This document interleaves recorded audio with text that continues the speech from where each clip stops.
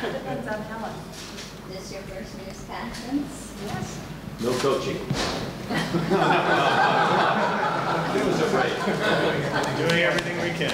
We've got a No. I, I, I only, I only rescue people. I know how to switch in presidential powers. Does that mean she owes you one?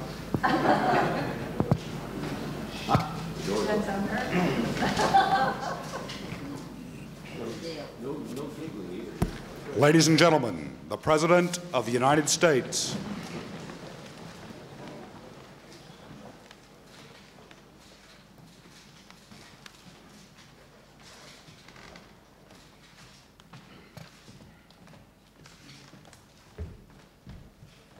Please be seated. I have a statement.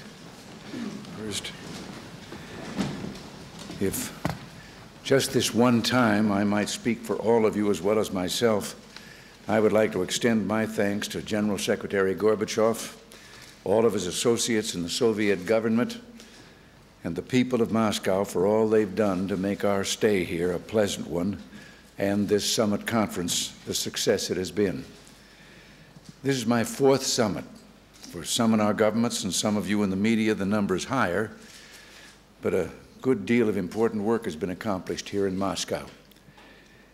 And the personal relationship between Mr. Gorbachev and me and the various members of our respective delegations has continued to deepen and improve. But personal relationships and hopes for peace are not by themselves enough. I think history will note that in our approach to the summit process, the United States has sought a consistency of expression as well as purpose. While at every turn I've tried to state our overwhelming desire for peace, I have also tried to note the existence of fundamental differences. And that's why it's a source of great satisfaction that those differences, in part as a result of these meetings, continue to recede. In addition, spokesmen for the Soviet government have noted the change of policy, indeed the profound change of policy that has occurred in their own government. The United States is fully cognizant of this change and aware of its implica implications. In noting the differences that still stand between us, therefore, my desire has not been to sound a note of discouragement, but one of realism, not to conduct a tutorial, but to give the kind of emphatic testimony to the truth that, over the long run, removes illusion and moves the process of negotiation forward. From our standpoint, this approach has borne fruit at previous meetings and again at this summit conference. And here, permit me to go back for just a moment to our first summit meeting at Geneva. There, we agreed on certain fundamental realities that would govern our relations that a nuclear war cannot be won and must never be fought that the United States and the Soviet Union bear special responsibilities for avoiding the risk of war, that neither side should seek military superiority over the other. We affirmed our determination to prevent war, whether nuclear or conventional, and our resolve to contribute in every way possible, along with other nations, to a safer world. We also set out a broad agenda and initiated a new process of dialogue to address the sources of tension in U.S. Soviet relations. Since Geneva, we have achieved, through a sustained effort, progress across this broad agenda.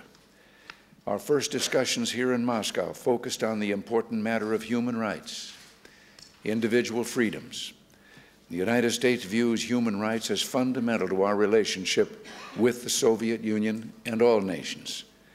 From the beginning, we've stressed this point and are encouraged by recent signs of progress in the Soviet Union. I believe that where people have the right to speak, write, travel, and worship freely, creative energies are released. On several occasions, I've said that nations do not distrust each other because they're armed.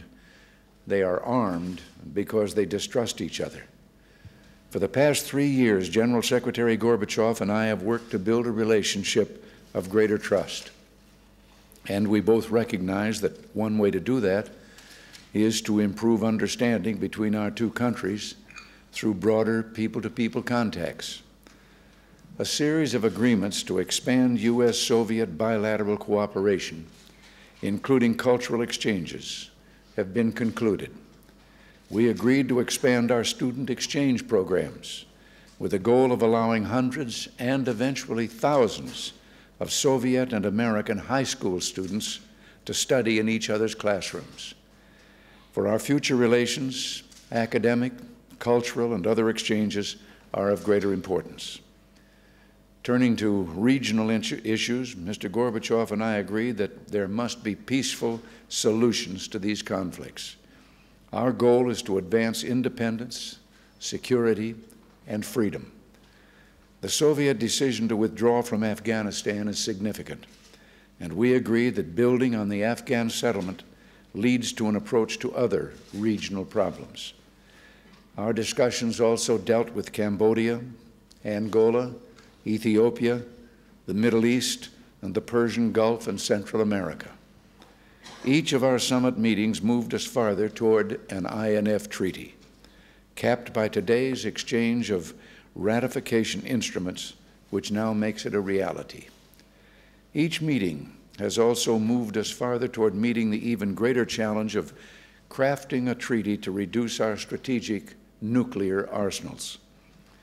In Geneva, the General Secretary and I agreed on the concept of 50% reductions, and in Reykjavik on numerical limits for warheads and delivery vehicles, in Washington on intensive work to complete a START treaty, including comprehensive verification provisions building upon those in INF.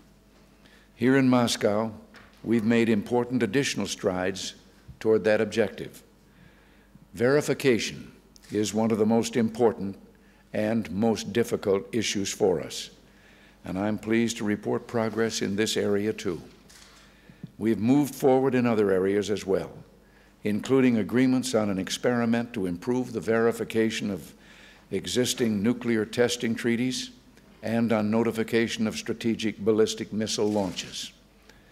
Finally, let me say how deeply moving I have found my discussions with various citizens of the Soviet Union.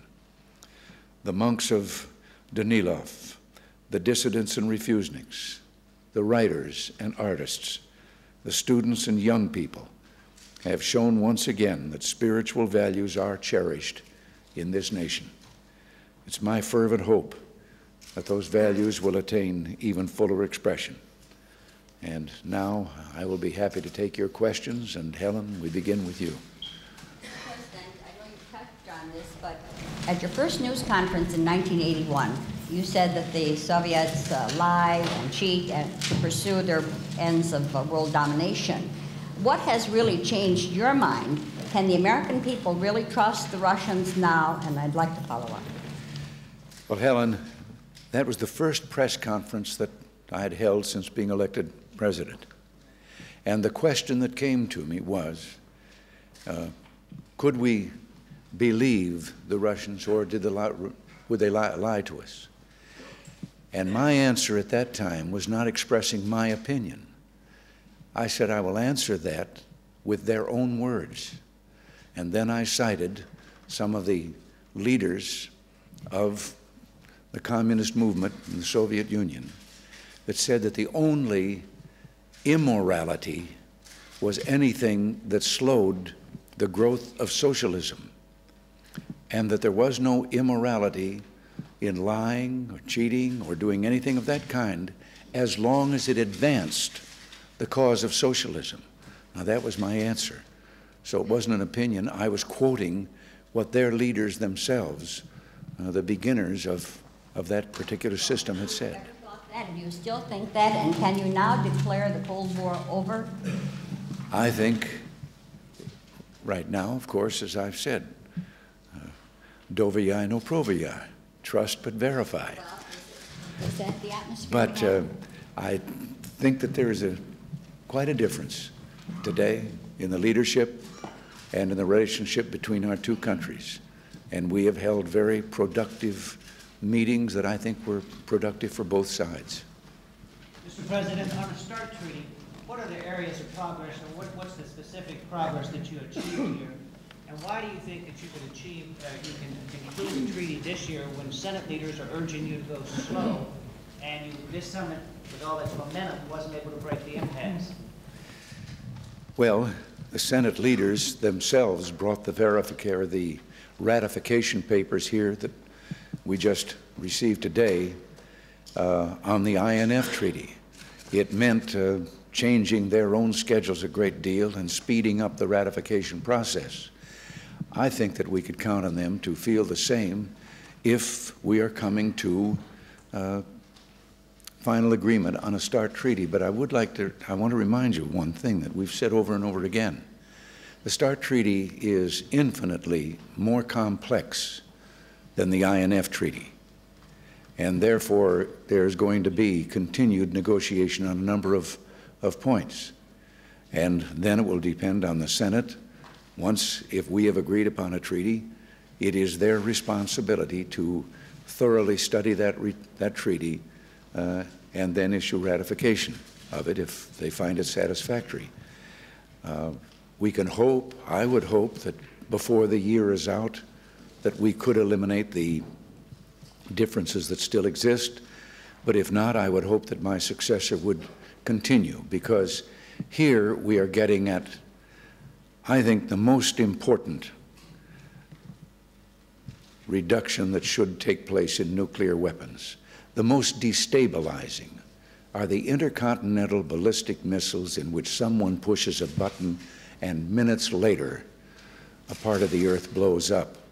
And that's why, uh, and the thing that I express my hope about is that not only have we said 50%, but in that first meeting in Geneva, the General Secretary proposed the idea also of reducing by half our nuclear missiles. Follow up, sir. Could you, could you go over the areas of progress on START that you achieved here? No, I don't think that I should go on. The conversations are still going on, and there are things still being discussed. And uh, uh, as I say, progress has been made, or we wouldn't still be talking the way we are. But uh, there's a young lady in the back that I think is native to the scene. Mr. Mr. President, is there something in Soviet-American relations that you would advise your successor uh, to leave behind? And is there something that you would specially advise to take to the future? Wait a minute, if I heard the entire question, special advice Is on what? Is there something in Soviet-American relations that you would advise your successor to leave behind?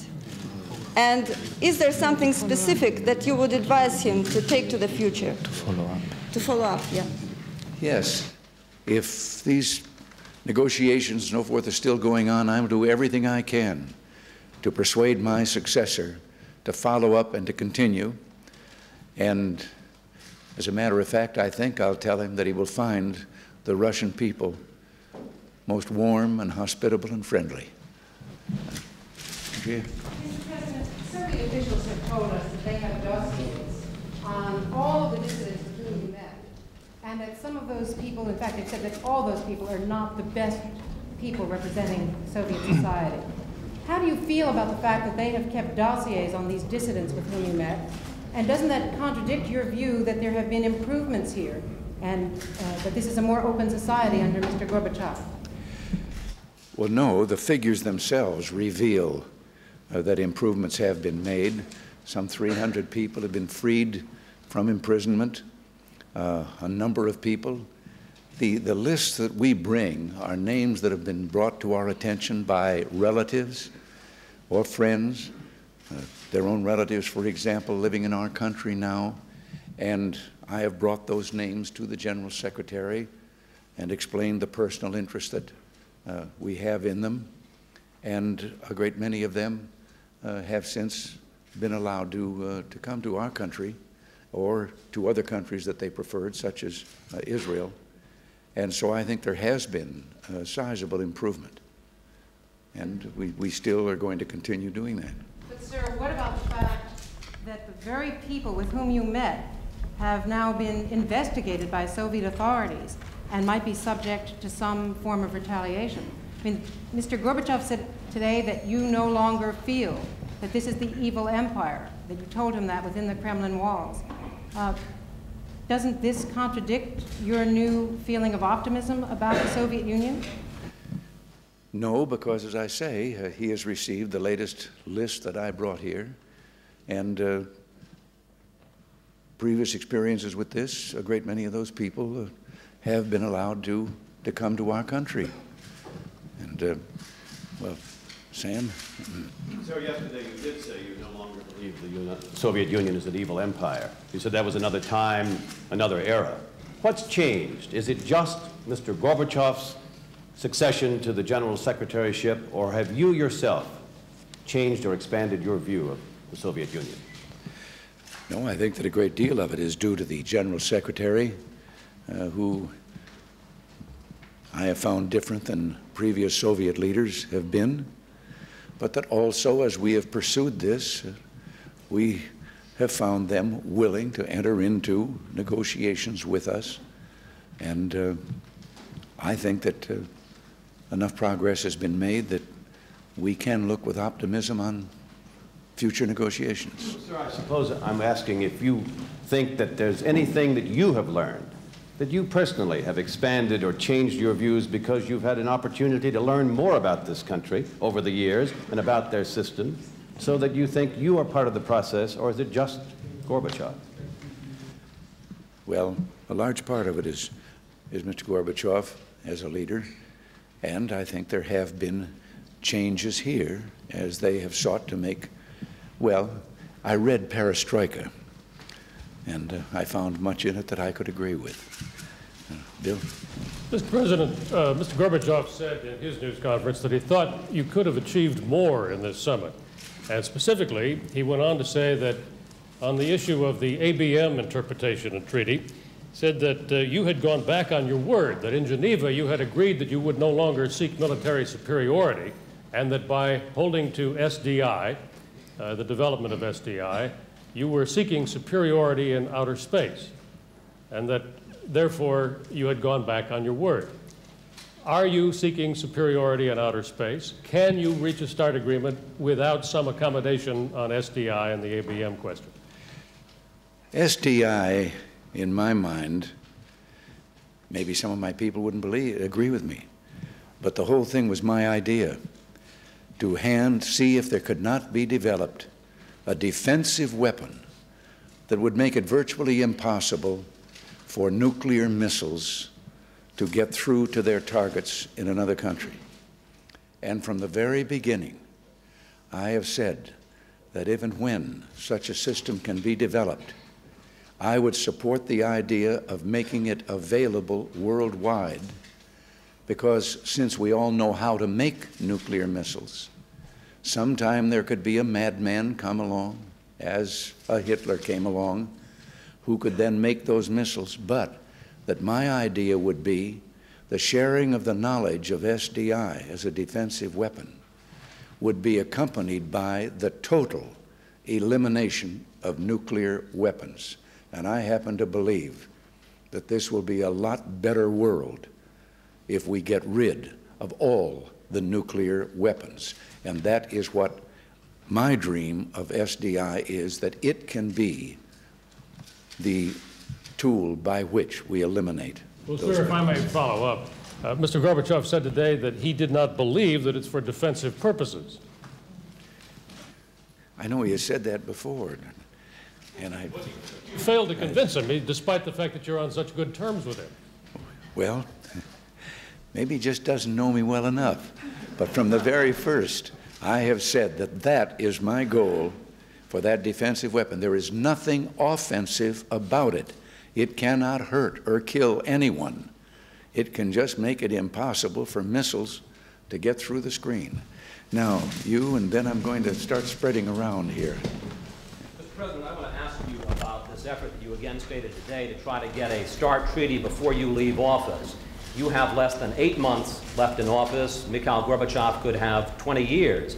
By setting up any kind of deadline, no matter how unofficial, aren't you putting all the pressure on the U.S. side? Oh, no, no, we set no deadline. I said we're going to continue working toward that. And I could hope that maybe in that period of time. But no, I am dead set against deadlines. You don't make a treaty just to simply have it be achieved at a certain point in time.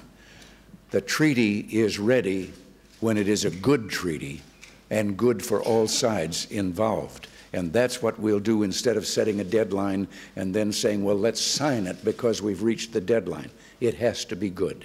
Let me, if I might follow up, sir. Uh, there is also talk about a fifth summit sometime this year to sign a treaty, which might come sometime in the fall, to prevent U.S. Soviet relations from being mixed up in politics. Are you willing to rule out a summit until the presidential campaign is over in November? I'd make any decision of that kind based on how I thought it could affect the, the situation. And if it gave a promise of success, uh, then go for it. You, maybe. Yes. Uh, no, the young lady, and then I'll take you. Uh, Mr. President, you were asked by one of the students at Moscow University yesterday about the uh, practice in the United States of limiting presidential terms. And I believe you said you were going to go out in the mashed potato circuit next year and uh, campaign for repeal of that uh, constitutional amendment.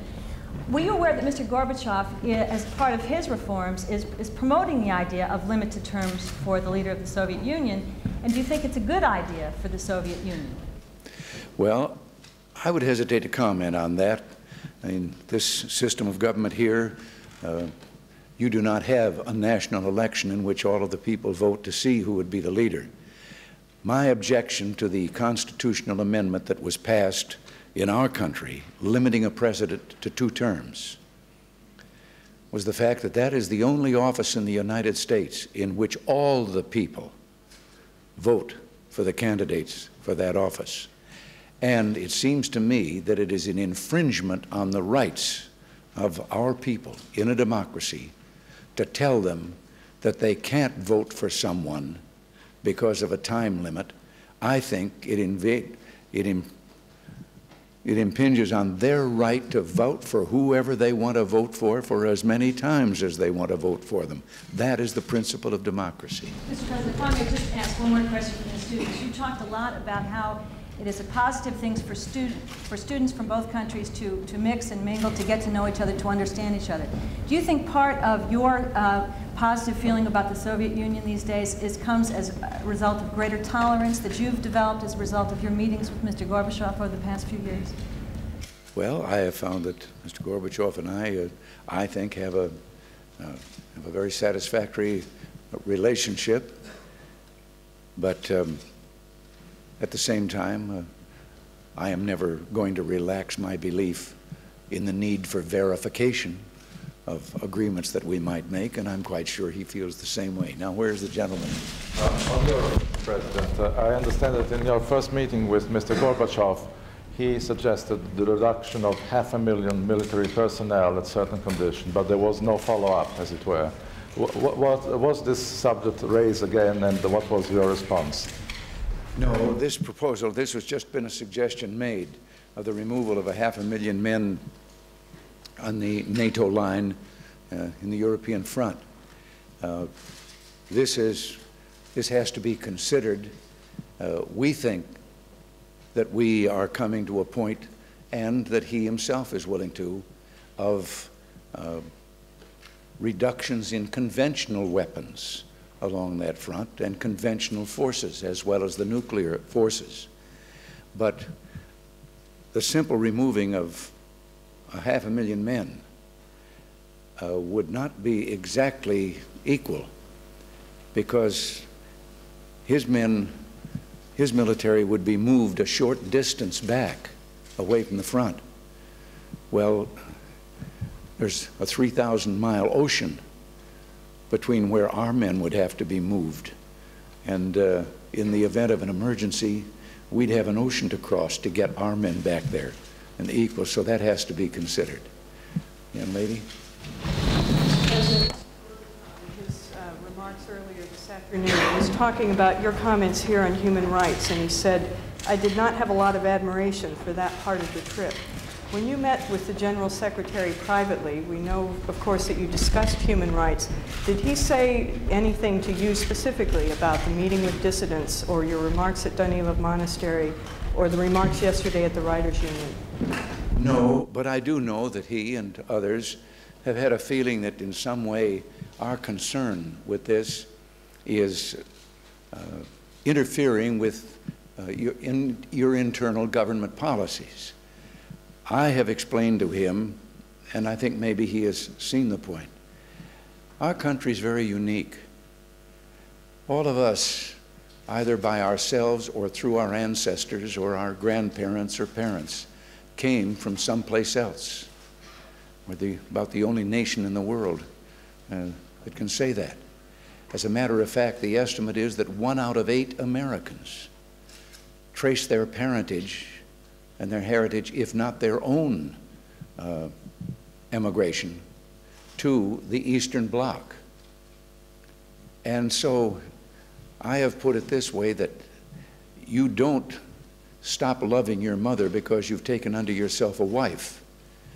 So the people in America do have a feeling for the countries of their heritage. In my case, it was a great grandfather on one side and a grandmother and, uh, and grandfather on my mother's side.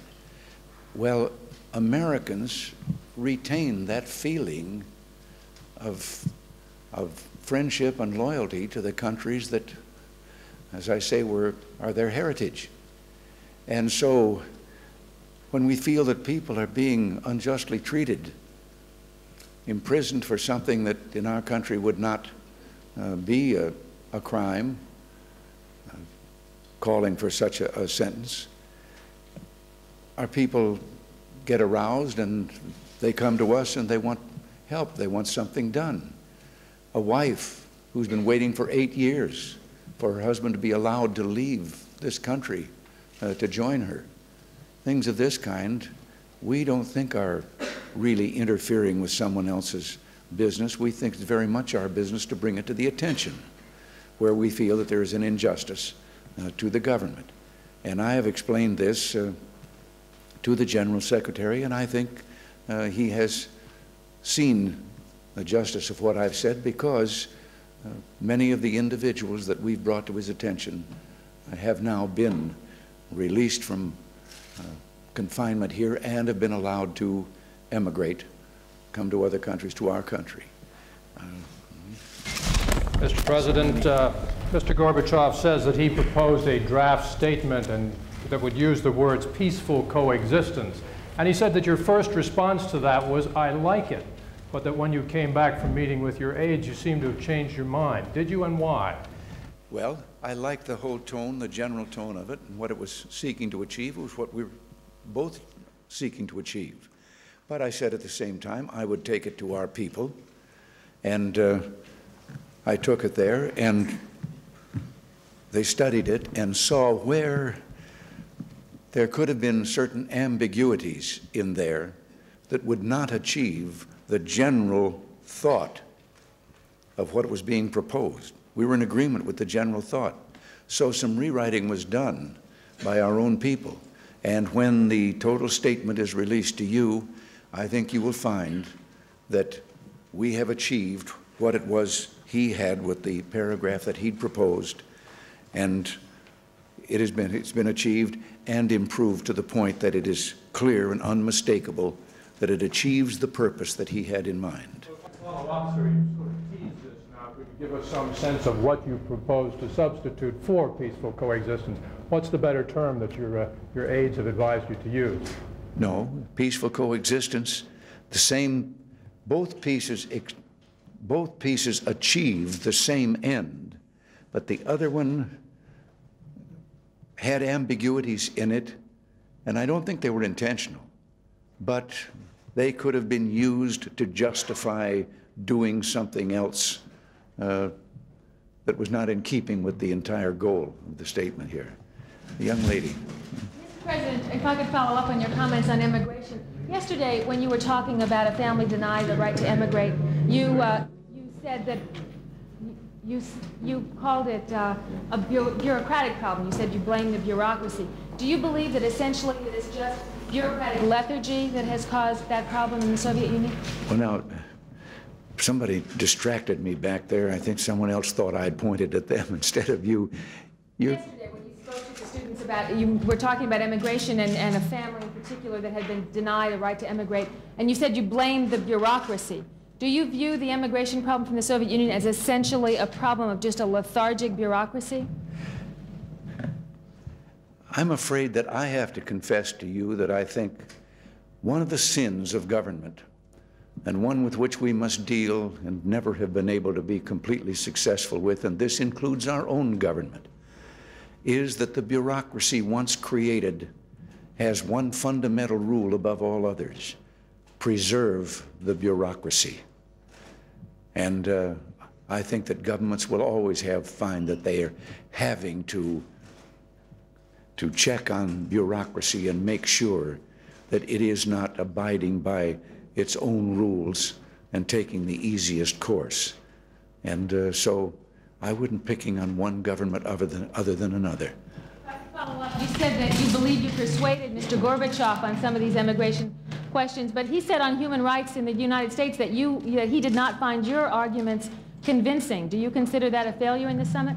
I think that there is a mistake, a mistaken view, and oh, how I yearn to, to have him come to our country for long enough to see some of our country.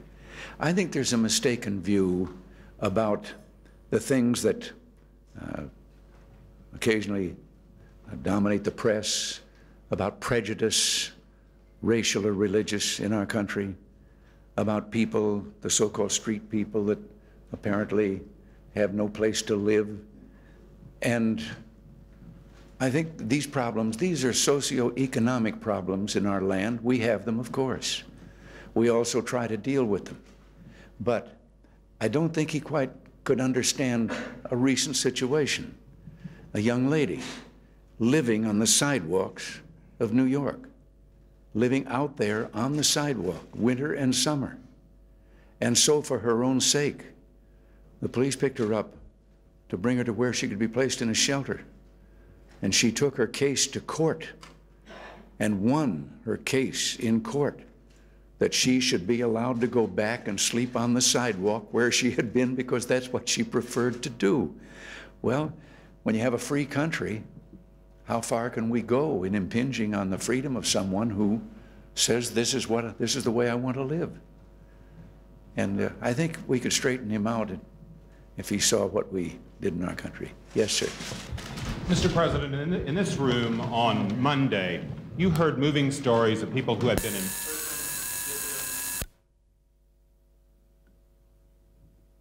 and you wrote it off to bureaucracy. Is that really your view, that it is only the bureaucracy, it is not a willful policy of the government here to keep these people from immigrating? No. I can't say that it's one, I don't know that much about the system, but it was, the question was presented to me on the basis that it possibly was a, a bureaucratic uh, bungle. Maybe I should illustrate to you why I feel the way I do about bureaucracies. Once during the war, I happened to be involved in a situation in which one level of the military wanted a warehouse full of filing cabinets, wanted permission to destroy the files so they could use those filing cases, and they, they were able to prove that the documents had no historic value, they had no bearing on present-day government at all, they were, practi- they were just useless. And so the message went up through the ranks, requesting permission to destroy these obsolete files. And then back down through the ranks from the top command, endorsed by each level of command, came the reply. Permission granted, providing copies were made of each file destroyed. Don't you think you're letting uh, Mr. Gorbachev off a little easy on just saying it's bureaucracy? No, as I said, I don't, the, the way the question was framed, I thought that, that there was a possibility of that.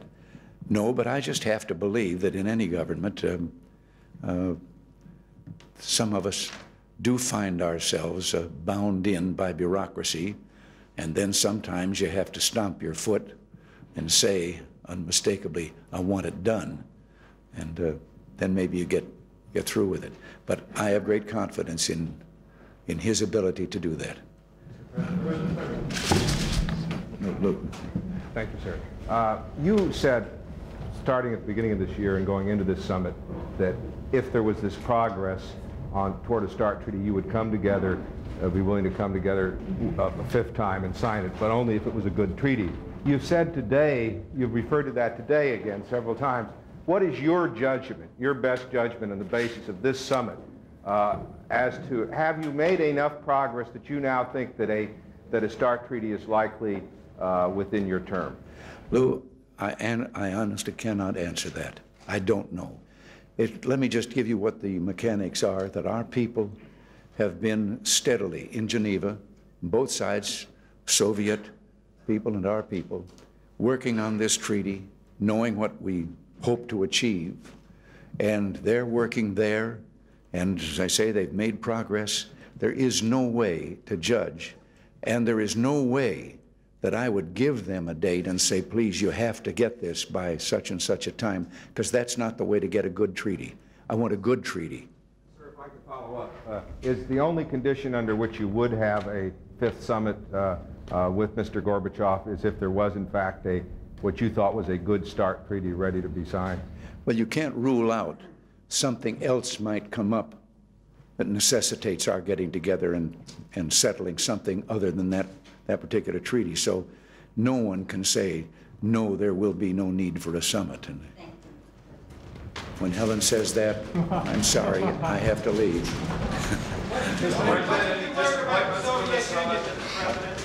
Mr. President, what have you learned about the Soviet Union? What have you learned in your first trip to Moscow?